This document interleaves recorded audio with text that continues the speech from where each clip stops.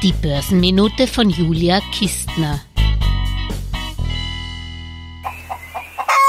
Lieber Herr Finanzminister, es ist ja herrlich, wenn die Regierung inzwischen es auch gut findet, wenn ihre Bürger an der Börse privat vorsorgen.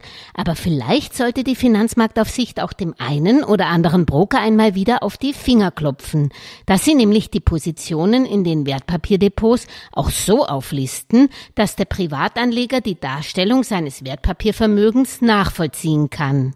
Liebe Damen und Herren der FMA in Österreich, schaut euch zum Beispiel doch bitte einmal diesbezüglich die Gepflogenheiten der EasyBank an.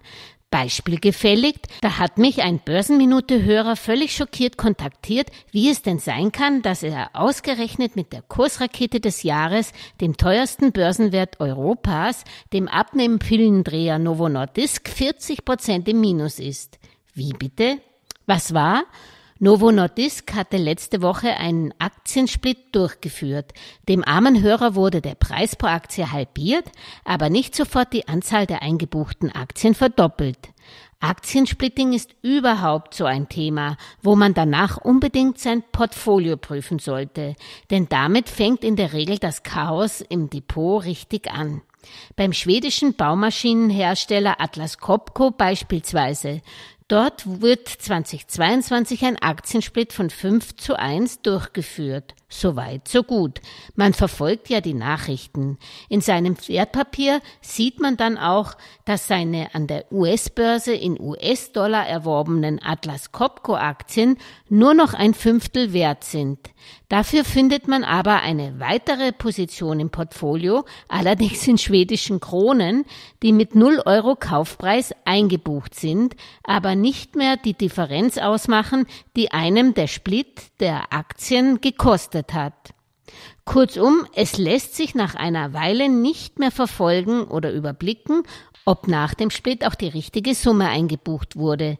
Wäre das nicht fair, wenn man da eine Darstellung bekommt, die übersichtlich dokumentiert, dass der Wert vor und die eingebuchten zwei Werte danach dasselbe Wert sind?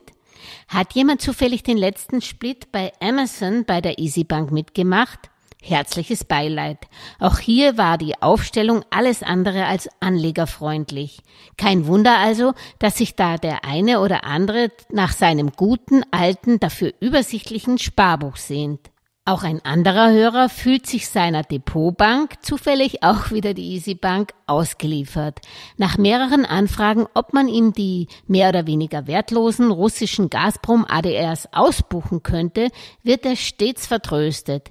Es besteht wohl seitens des Brokers auch wenig Interesse auszubuchen. Für jede Wertpapierposition kassiert die EasyBank nämlich mindestens 4,50 Euro plus Mehrwertsteuer im Jahr. Ich bin mir sicher, es gibt ähnliche Erfahrungsbeispiele aus Deutschland oder der Schweiz. Schreibt sie mir doch bitte in den Kommentar oder an julia.geldmeisterin.com. Es dankt schon einmal Börsenminute-Host Julia Kistner, der euch ein Wochenende ohne Ärgernisse wünscht.